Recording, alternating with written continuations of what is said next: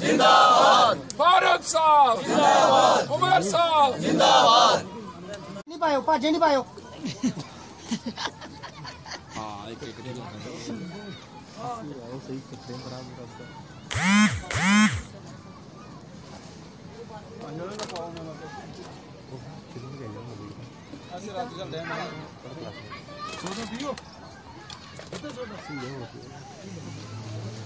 गुप्ता है?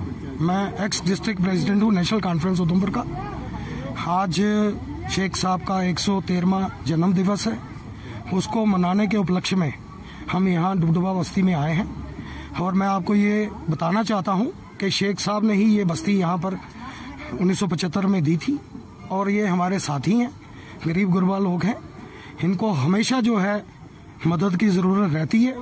और जो शेख साहब ने हमें एक रास्ता दिखाया था कि जो भी गरीब गुरबा लोग हैं, उनकी मदद करो, हमन शांति की बात करो, भाईचारे की बात करो। हिंदू, मुस्लिम, सिख इतिहाद का जो उन्होंने नारा दिया था, आज भी हमारा जितना भी नेशनल कॉन्फ्रेंस का साथी है जम्मू कश्मीर के अंदर उस बात पर कायम है और डटा हुआ है।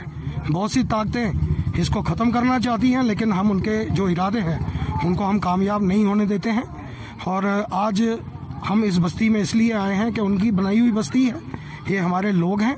हम इनकी नई जनरेशन को ये बताना चाहते थे कि शेख साहब एक महान हस्ती थे। उन्होंने इस रियासत के लिए और जम्मू कश्मीर और भारत को मिलाने के लिए और जम्मू कश्मीर में जब उन्नीस सौ सैंतालीस में पूरे भारतवर्ष में मार काट चल रही थी, जम्मू कश्मीर एक ऐसी रियासत थी जहाँ पर कोई भी खून खराबा नहीं हुआ और ये उनकी वजह से था। उनकी जो पार्टी के लोग थे, उनकी वजह से हुआ था। हम फख्र महसूस करते हैं कि हम उनके जमात के सिपाही हैं और उस रास्ते पर चल रहे हैं। आज हम उनका जन्मदिन मना के एक बहुत अपने आप को खुशी महसूस कर रहे हैं। उस सिलसिले में यहाँ आए।